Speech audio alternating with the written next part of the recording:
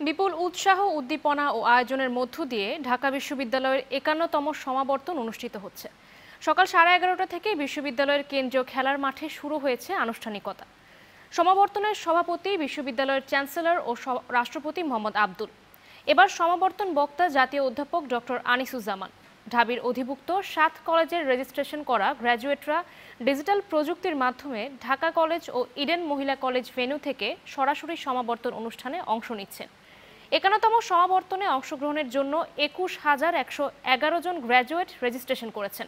এই সংখ্যা ঢাকা বিশ্ববিদ্যালয়ের সমাবর্তনের ইতিহাসে সর্বাধিক। অনুষ্ঠানে কৃতি শিক্ষক ও শিক্ষার্থীদের ছিয়ানব্বইটি স্বর্ণপদক, একাশি জনকে পিএইচডি এবং সাতাশ জনকে এমফিল ডিগ্রি দেওয়া হবে।